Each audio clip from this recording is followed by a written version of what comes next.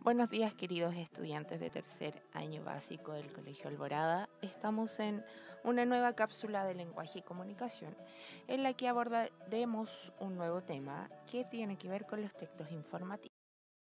Pero antes de comenzar de lleno con eso, vamos a hacer un poco de, eh, de memoria, vamos a recordar algunas cosas importantes. Por ejemplo, los textos. Como te has podido dar cuenta, existen muchos tipos de textos y cada uno de ellos tiene una función diferente. Hay textos que su, función es entretenernos, otros que están destinados a dar órdenes, eh, otros que nos dan instrucciones, algunos sirven para expresar sentimientos y otros para informar. Aprendimos en las clases anteriores de que los textos narrativos tienen como propósito entretenernos y contarnos una historia. Todo lo que vimos anteriormente en las cápsulas eh, de lenguaje estaban enfocados en los textos narrativos. Estos textos poseían características específicas que nos permitían poder reconocer. Ejemplo, si ustedes miran aquí en la pantalla, van a ver tres imágenes. ¿Será acaso los textos narrativos la imagen de la derecha? No. ¿Será acaso la imagen del medio? No, tampoco. ¿Cuál es el ejemplo de texto narrativo? Sí, muy bien. El que dice cuentos al revés. Los cuentos son un tipo de texto narrativo. Entonces, ¿Qué nuevos textos aprenderemos? Como se los dije al inicio de esta cápsula, vamos a aprender acerca de los textos informativos. Pero antes de continuar, debemos tener algo claro, unos conceptos que se van a repetir a lo largo de esta presentación y eh, de lo que venga acerca de este tipo de texto y es la situación comunicativa. Cuando nosotros nos comunicamos con alguien, se produce un fenómeno que se llama situación comunicativa, en la que intervienen tres entes muy importantes. Un emisor, un mensaje y un receptor. El emisor es quien envía un mensaje a un receptor. ¿Quién es el receptor? El que recibe el mensaje. Pero aquí pasa algo que ustedes deben tener claro que en un momento cuando el emisor envía un mensaje y espera una respuesta, automáticamente ese emisor se transforma en receptor y el receptor se transforma en emisor. Así que lo tenemos claro. Recordemos, emisor envía el mensaje. Mensaje es lo que quiero decir y el receptor es a quien yo le quiero enviar el mensaje y quien lo recepciona. Ahora sí, vamos de lleno a lo que son los textos informativos. ¿Qué son? Dice que un texto informativo o texto expositivo es una pieza de lenguaje escrito que sirve para transmitir información al receptor. Ofrece datos, descripciones de la realidad de ciertos hechos o cualquier tipo de información que eh, sea de importancia. Vamos a, ver, vamos a ver ahora las características de los textos informativos. A grandes rasgos, un texto informativo se caracteriza por tener el propósito de transmitir información, o sea, de compartir o difundir datos, hechos, descripciones, etc. No involucrar ningún tipo de opinión. Nosotros, una vez que leemos un texto informativo, podemos opinar, pero el texto informativo en sí no emite opiniones, solamente nos entrega información.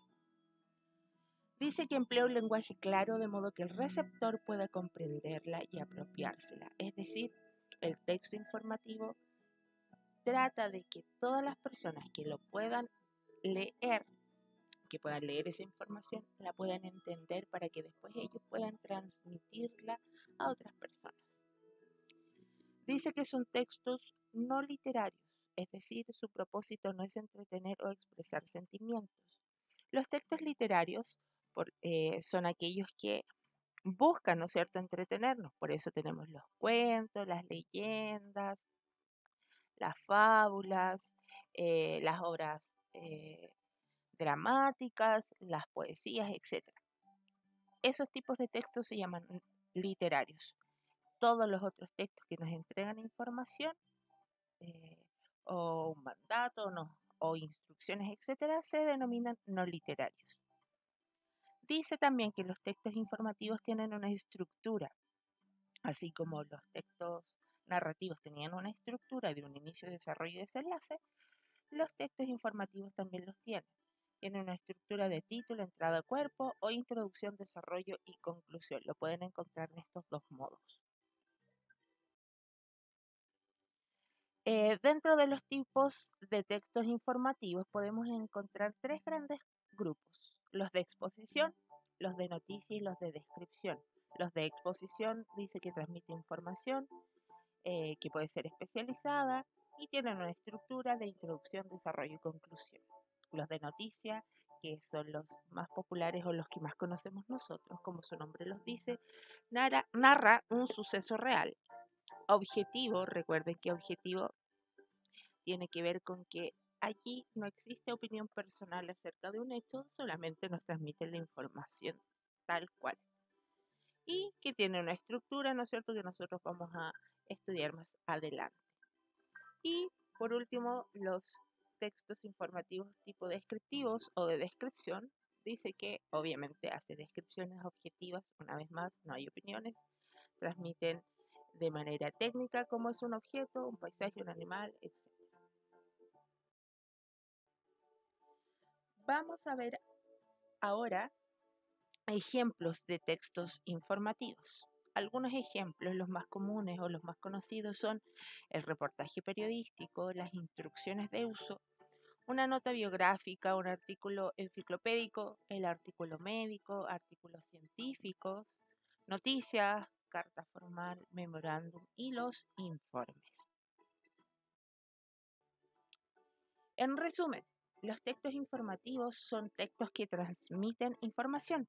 Tienen que ser objetivos, es decir, que no hay espacio para las opiniones personales de quien escribe el texto, y rigurosos, es decir, que se apegan totalmente a hechos y datos reales y a la verdad. Para ello, cuando aparece la opinión del autor, se separa claramente y presentan datos y cifras concretas. Su estilo es claro, sencillo y preciso, Recuerden que dijimos anteriormente que el lector de un texto informativo debe ser capaz de comprender la información para poder luego transmitirla. Para ello dice que las frases son cortas, no hay palabras ambiguas, es decir, que puedan tener muchos significados y pueden usarse tecnicismo, el lenguaje técnico que les mencioné anteriormente. Y su estructura vimos que puede ser nombrada de dos formas, pero aquí nos dicen que tiene un título, una entrada y un cuerpo. Vamos a ver las actividades para esta cápsula. Junto a tu familia te invito a leer de internet una noticia de algún diario digital nacional. Anota en tu cuaderno lo que más llame tu atención acerca de lo que lees.